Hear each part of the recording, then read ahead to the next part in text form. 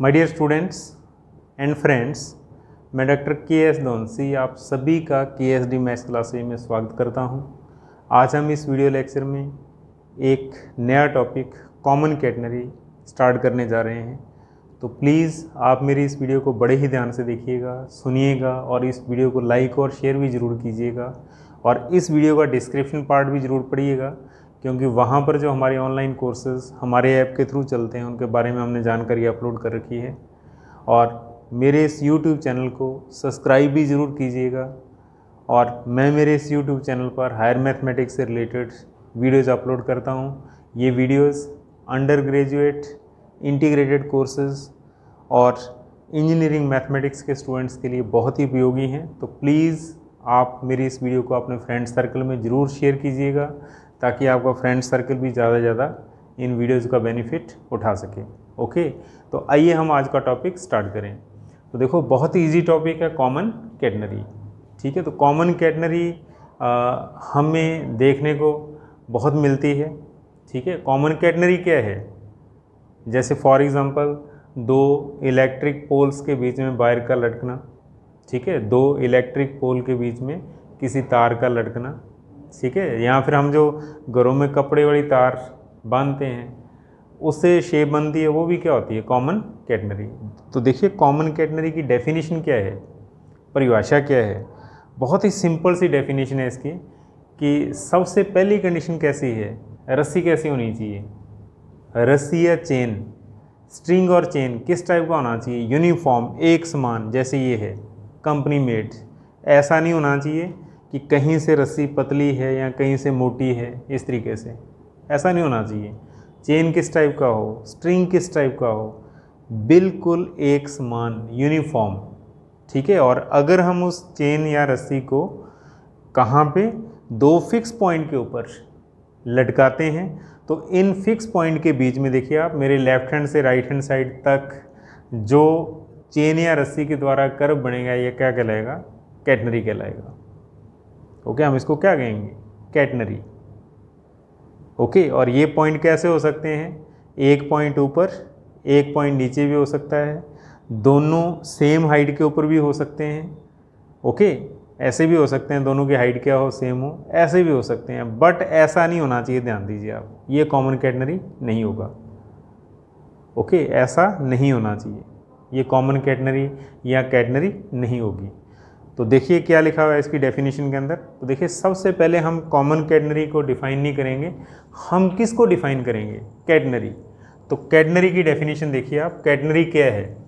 ठीक है what is catenary if a uniform string और chain hangs freely under the action of gravity between two fix points not in same vertical line ठीक है? किस type के points होने चाहिए? वर्टिकल लाइन के अंदर नहीं होने चाहिए। ठीक है? उनके बीच में जो कर्व बनेगा, वो क्या कहलाएगा? कैटनरी कब? जब चेन कैसी हो? Uniform the curve in which it hangs is called catenary ठीक है? बहुत ही सिंपल सी डेफिनेशन है। यदि एक एक समान डोरिया चेन को गुरुत्वाकर्षण के अधीन दो स्थिर बिंदुओं के बीच में लटकाया जाता है तो उनके बीच में बढ़ने वाला कर्व क्या कहलाता है? कैटनरी कहलाता है, लेकिन ये दोनों पॉइंट सेम वर्टिकल लाइन के ऊपर नहीं होने चाहिए। यानी कहने का मतलब ऐसा नहीं होना चाहिए, दोनों पॉइंट यहाँ पे आ जाए। ठीक है, ऐसा नहीं होना चाहिए। पॉइंट कैसे हो? ऐसे भी हो सकते हैं, ऐसे भी हो सकते हैं, ऐसे भी हो सकते हैं, ऐसे भी हो सकते हैं बट ऐसा नहीं होना चाहिए। एक लाइन के अंदर पॉइंट ना हो। ओके, जैसे फॉर एग्ज़ाम्पल ये भी क्या होगा? कैटनरी ओके, यहाँ पर ए और बी क्या हैं? फिक्स पॉइंट और ऐसे भी हो सकता है फॉर एग्ज़ाम्पल ए पॉइंट और बी पॉइंट ये भी क्या है? कैटनरी ऐसा भी हो सकता है, ये ए पॉइंट और ये बी पॉइंट ये भी क्या है? कैटनरी बट ऐसा नहीं होगा. अगर ए और बी पॉइंट इस वर्टिकल लाइन के ऊपर आएँगे तो फिर कॉमन कैटनरी नहीं बनेंगे। ठीक है? तो बहुत ही सिंपल डेफिनेशन तो नेक्स्ट लिखिए आप कॉमन कैटनरी कॉमन कैटनरी क्या है? हाँ तो नेक्स्ट डेफिनेशन लिखिए आप कॉमन कैटनरी साधारण कैटनरी या फिर सामान्य कैटनरी तो कॉमन कैटनरी को हम किस तरीके से डिफाइन करते हैं? बहुत ही सिंपल ठीक है? यानी कि कैटनरी और कॉमन कैटनरी की डेफिनेशन के अंदर क्या डिफरेंस है? इतना सा डिफरेंस है। ओके कैटनरी में हमने क्या लिखा था? इफ़ ए यूनिफॉर्म चेन और स्ट्रिंग हैंग्स फ्रीली ठीक है? बट यहाँ पे क्या है? ध्यान दीजिएगा आप। इफ़ ए यूनिफॉर्म चेन और string of weight of per unit length is constant hangs freely under the gravity between two fixed points not in the same vertical line the curve in which it hangs is called common catenary कहने का meaning क्या है यदि एक समान डोरी या जंजीर को जिसका प्रति इकाई लंबाई बार कैसा हो अचर हो ध्यान से सुनिएगा आप एक समान डोरी या चेन जिसका प्रति इकाई लंबाई का बार अचर हो, उसको अगर हम दो स्थिर बिंदुओं पर लटकाते हैं, ठीक है तो उन दोनों बिंदुओं के बीच में बढ़ने वाला वक्र क्या कहलाता है? कॉमन कैटनरी अर्थात सामान्य कैटनरी या साधारण कैटनरी कहलाता है। बस सिर्फ़ ये डिफरेंस है। यानी कि उस चेन का जो वेट है, वो भी कैसा होना चाहिए? प्रति इकाई लंबाई कांस्टेंट होना चाहिए। फॉर एग्जांपल जैसे 10 सेंटीमीटर की हमारे पास कोई चेन है तो एक सेंटीमीटर का वेट, फिर एक सेंटीमीटर का वेट, फिर एक सेंटीमीटर का वेट कैसा होना चाहिए? कांस्टेंट होना चाहिए। ठीक है? ये इसका मीनिंग होता है। अगर 20 मीटर की चेन है तो एक मीटर का जो वेट होगा एक एक मीटर का हम वेट कैलकुलेट करें तो वो कैसा आएगा? कांस्टेंट। ऐसी चेन होनी चाहिए। अगर इस टाइप की चेन डोरी या जंजीर है तो उसको हम दो बिंदुओं के बीच में लटकाएँगे तो बढ़ने वाला वक्र क्या कहलाएगा? कॉमन कैटनरी कहलाएगा। और इस टॉपिक के अंदर जितने भी क्वेश्चंस हैं, जितने भी आर्टिकल्स हैं, वो सभी किस पे हैं? कॉमन कैटनरी के ऊपर। चाहे क्वेश्चन के अंदर कैटनरी वर्ड ही यूज़ किया हो मीनिंग क्या होगा? कॉमन कैटनरी यानी कि उस डोरी या जंजीर का जो वेट होगा द वेट ऑफ़ स्ट्रिंग और चेन किस टाइप का होगा? पर यूनिट लेंथ इज़ कांस्टेंट प्रति इकाई लंबाई का बार कैसा होगा? कांस्टेंट होगा। तो ये चीज़ आपने याद रखनी है। ओके तो अब आइए आप इक्वेशन ऑफ़ कॉमन कैटनरी यानी कि इसका फ़र्स्ट आर्टिकल हाँ तो नेक्स्ट आर्टिकल लिखिए आप। Article number one okay first article prove that S equal to C tan psi be an intrinsic equation of common catenary हमें सिद्ध करना है एस बराबर सी टेन साई साधारण कैटनरी का नेज समीकरण है, ये हमारा टारगेट है। ओके तो इसको हम किस टाइप से प्रूफ करेंगे? तो प्रूफ लिखिए आप आर्टिकल का। प्रूफ ऑफ़ आर्टिकल ठीक है तो सबसे पहले कॉमन कैटनरी को हमने किस टाइप से डिफाइन किया था? ठीक है A uniform chain hangs between two fix point तो हम सपोज़ कर लेते हैं A and B are two fix points okay let A and B are two fix point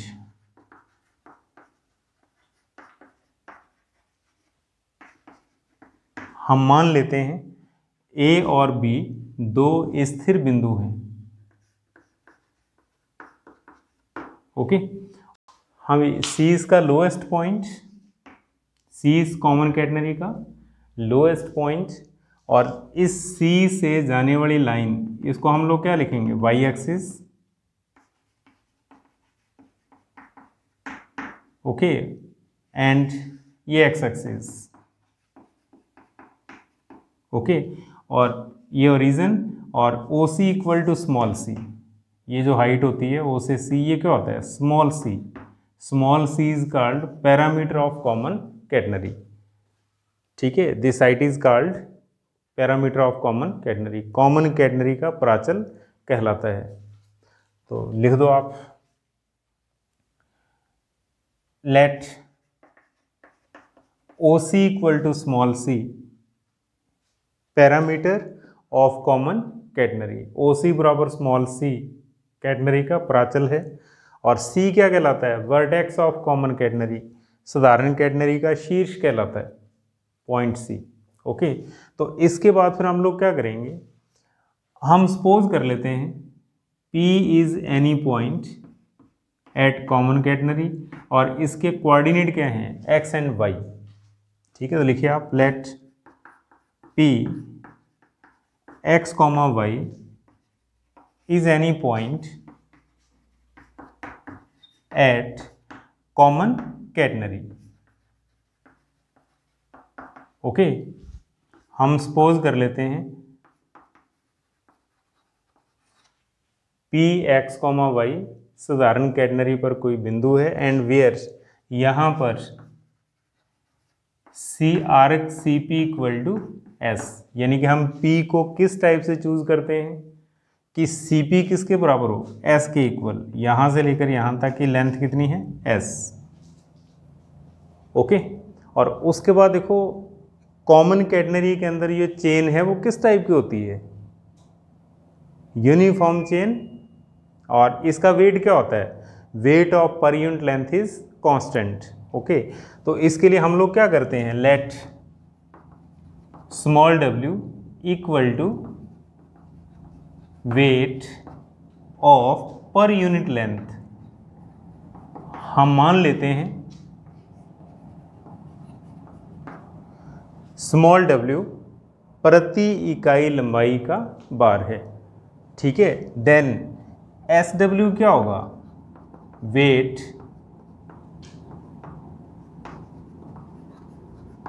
of आरक CP ठीक है? एक लेंथ का वेट स्मॉल डब्ल्यू है तो एस लेंथ का कितना हो जाएगा? एस डब्ल्यू और उसके बाद ध्यान दो आप। हम लोग क्या जानते हैं? वेट हमेशा किस साइड की होगा वर्टिकल डाउन ठीक है? इधर उधर नहीं होता, वेट किधर होता है? वर्टिकल डाउन तो इसका मीनिंग क्या होगा? जो सीपी का वेट होगा, वो किस साइड की ओर होगा नीचे की ओर. और कितना होगा? एस इंटू डब्ल्यू ठीक है? और अब देखिए, इसी वेट के कारण एस डब्ल्यू वेट के कारण ध्यान दीजिएगा आप. एस डब्ल्यू किसका वेट है? आर एक्स सी पी का वेट. तो फिर क्या होगा? पॉइंट सी और पॉइंट पी पर खिंचाव होगा, टेंशन होगा। ठीक है, किस चीज़ के कारण? वेट एस डब्ल्यू के कारण। बहुत ही सिंपल सा याद रखने का तरीका है, देखो आप, किस चीज़ का बार है? एस डब्ल्यू सी पी का बार है आर सी पी का वेट। तो इसका मीनिंग क्या होगा? इस वेट के कारण पॉइंट सी और पॉइंट पी पर टेंशन होंगे, और टेंशन हमेशा कहाँ पे होता है? अलोंग टेंजेंट स्पर्श रेखा के अनुदेश। ठीक है तो हम सपोज़ कर लेते हैं इस वेट के कारण सी पर जो टेंशन है वो कितना है? T zero. आप इसको टी नॉट भी कह सकते हो। ठीक है? और ऐसे ही पी पर जो टेंशन होगा वो कितना होगा? टी के बराबर। ये याद रखिएगा आप। ठीक है? लिख लिख दो आप। Let T equal to tension at P tension at P and T nought equal to tension at C T nought क्या है? टी ज़ीरो क्या है? लोएस्ट पॉइंट पर टेंशन अब उसके बाद ध्यान दो आप, जैसे हमारे पास रस्सी है, ठीक है? मैं इसको लटका दूँ, ठीक है? कोई एयर फ्लो ना हो, हवा का भाव ना तो क्या होगा? ये बिल्कुल ऐसे स्टेबल रहेगी, रुक जाएगी ये। अब तो हिल रही है, मैं इसको बोर्ड के साथ लगा दूँ। तो इसके अंदर कोई मूवमेंट नहीं होगा, ध्यान दीजिएगा आप। ठीक है तो इसका मीनिंग क्या होता है? ना हिलना। ना हिलने का मीनिंग क्या होता है? इक्वलिब्रियम विरामावस्था। ठीक है, और इक्वलिब्रियम का मीनिंग क्या होता है? कोई भी चीज़ इक्वलिब्रियम के अंदर कब होती है? जब ऊपर की ओर फोर्स इक्वल टू क्या हो? नीचे की ओर फोर्स और लेफ़्ट हैंड साइड की ओर फोर्स किसके इक्वल हो? राइट हैंड साइड की ओर जो फोर्स हो गई उसके इक्वल होंगे। कब? कंडीशन ऑफ़ इक्वलिब्रियम के अंदर। समय अवस्था की स्थिति के अंदर। ठीक है तो देखो क्या करना होगा अपने को। यहाँ पर टी नॉट किस टाइप का है? Along left hand side S W किधर है? वर्टिकल डाउन लेकिन चेन कैसी है इन इक्विलिब्रियम तो इसका मीनिंग क्या होगा? इसका मीनिंग ये होना चाहिए कि ऊपर की ओर फोर्स इक्वल टू नीचे की ओर फोर्स ठीक है? Force along upward equal to force along downward and force along left hand side equal to force along right hand side. तो अब आप देखिए इसके अंदर क्या है? T zero along left hand side है एस डब्ल्यू वर्टिकल डाउन है। टी कैसा है? ना वर्टिकल ना हॉरिजेंटल तो फिर क्या करना होगा अपने को? टी को रिजॉल्व करना होगा। टी को हम तोड़ेंगे। तो देखो कैलकुलस के अंदर हम लोग क्या पढ़ते हैं? बहुत ही सिंपल अगर एक्स वाई प्लेन के अंदर कोई कर्व है और उस कर्व के ऊपर कोई पॉइंट है पी जिसके कोऑर्डिनेट क्या हों? एक्स और वाई और यहाँ पर अगर हम टेंजेंट ट्रेस करते हैं तो ये एंगल क्या होता है? साई ये एंगल किसके बराबर होता है? साई के बराबर। तो इसका मीनिंग क्या है? अगर हम इस टेंजेंट को कहाँ तक ले दें? एक्स एक्सिस तक तो ये एंगल कितना होगा? साई के बराबर। ठीक है? और अब हम लोग क्या करेंगे? इस टी के दो कंपोनेंट बनाएँगे। इस टी को रिजॉल्व किया जाएगा। ठीक है along X axis and along Y axis कैसे? तो अपने को रिजॉल्व करना आना चाहिए। तो आप देखिए, जैसे फॉर एग्जांपल हमारे पास ऐसा हो, जैसे एंगल थीटा ये कोई फोर्स है एफ़ तो हम इसके दो पार्ट लिख सकते हैं। कैसे? इस साइड के अंदर क्या होगा? एफ़ कॉस थीटा और इस साइड के अंदर क्या होगा? एफ़ साइन थीटा यानी कि एंगल की डायरेक्शन के अंदर कॉस होगा और दूसरी डायरेक्शन के अंदर क्या होगा? साइन होगा। तो अब ऐसे ही जब हम इस टी को रिजॉल्व करेंगे तो क्या होगा? एंगल की साइड में क्या आएगा? कॉस तो इस साइड के अंदर इसका जो कंपोनेंट बनेगा, वो हो जाएगा टी कॉस साई और इस साइड के अंदर इसका जो कंपोनेंट होगा, वो क्या हो जाएगा? टी साइन साई आप इसको देखिए आप। एफ़ कॉस थीटा एंगल की डायरेक्शन में कॉस और एंगल के जस्ट अपोजिट दूसरी साइड में क्या होगा? साइन होगा। और उसके बाद हम लोग क्या करेंगे? बहुत ही सिंपल सा फंडा होता है, तोड़ो और छोड़ो। ठीक है? अब टी को आपने निगलेक्ट कर देना है। क्यों? हमने टी के दो पार्ट कर दिए। कौन कौन से? Along horizontal and along vertical okay? तो अब आइए आप। अब आप लिखिए सिंस चेन इन इक्विलिब्रियम चूँकि चेन विरामावस्था में है ठीक है, यहाँ पे ऐसा लिख सकते हो, डोरी साम्यावस्था में है स्ट्रिंग इन इक्विलिब्रियम तो इसका मीनिंग क्या होगा? Force along upward equal to force along downward तो पहली इक्वेशन क्या बनेगी देखो आप? T sine psi equal to S W equation number first ऊपर की ओर फोर्स इक्वल टू नीचे की ओर फोर्स और दूसरी इक्वेशन क्या बनेगी राइट हैंड साइड की ओर force equal to left hand side की ओर फोर्स तो राइट में कौन है? देखो आप डायग्राम देखिए T cos psi along right hand side and T zero along left hand side equation number second और अब हमारा टारगेट क्या है? टेन साई तो टेन का मीनिंग क्या होगा? साइन अपॉन कॉस तब टेन बनेगा। तो इसके लिए हम लोग क्या करेंगे? Now equation first divide by equation second equation, first में इक्वेशन सेकेंड को डिवाइड करिए आप। तो ऐसा करते हमारे पास क्या होगा? T sine psi upon T cos psi equal to S W upon T zero that is T से टी कैंसिल हो गया। Tan psi upon cos psi को आप क्या लिख सकते हो? Sine psi upon cos psi को आप क्या लिख सकते हो? टेन साई लिख सकते हो। That is tan psi equal to S W upon T zero और अब आपने क्या करना है? अब आपने एस लिखना है, देखो आप। तो यहाँ से एस कितना आएगा? एस इक्वल टू आएगा T zero upon W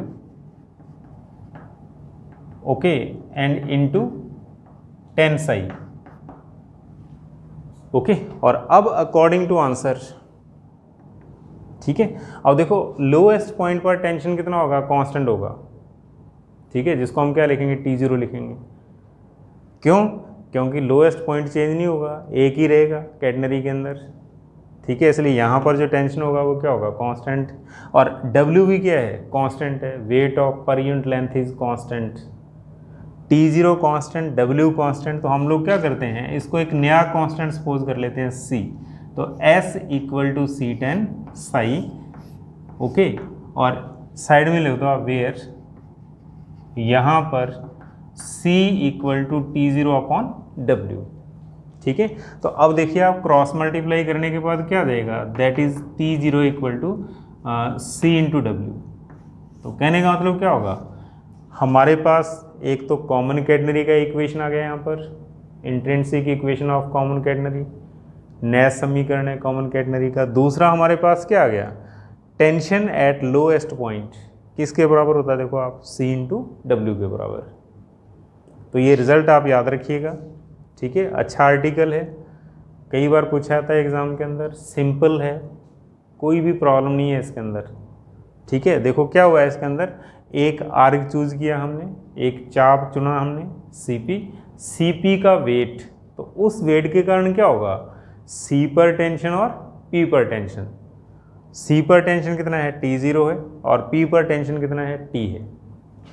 ठीक है? और हमने किस चीज़ का यूज़ किया? कंडीशन ऑफ़ इक्विलिब्रियम क्योंकि जब हम रस्सी को लटका देंगे, जैसे इलेक्ट्रिक वायर है अपने घर के सामने, हम देखते हैं, पता नहीं कितने सालों से लटके हुए हैं वो। विरामावस्था में इक्विलिब्रियम में है।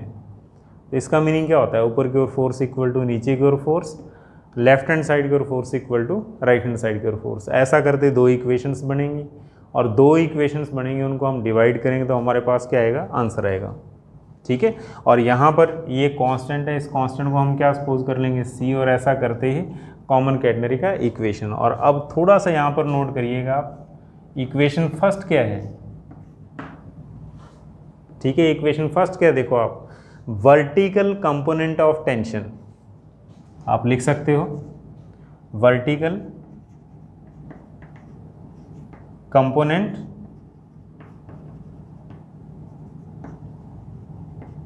Of tension. ठीक है, और ये क्या है? Horizontal component of tension. Horizontal component of tension. Okay? तो ये याद रखिएगा कई बार क्या होता है क्वेश्चन के अंदर एग्ज़ाम में पूछा जाता है कि आप टेंशन का वर्टिकल कंपोनेंट लिखिए या फिर टेंशन का हॉरिजेंटल कंपोनेंट लिखिए आप। तनाव का क्षैतिज घटक लिखिए। ये वर्टिकल घटक होता है और ये क्या होता है, क्षैतिज हॉरिजेंटल ठीक है? तो अगर ऐसा आता है तो अपने को पता होना चाहिए। इक्वेशन फ़र्स्ट क्या है? Vertical component of tension and equation क्या है? हॉरिजेंटल कंपोनेंट ऑफ़ टेंशन ठीक है? और इन दोनों को डिवाइड करते क्या होता है? कॉमन कैटनरी का इक्वेशन बनता है। ओके? तो प्लीज़ बड़े ध्यान से सुनिएगा आप। ओके? Thank you.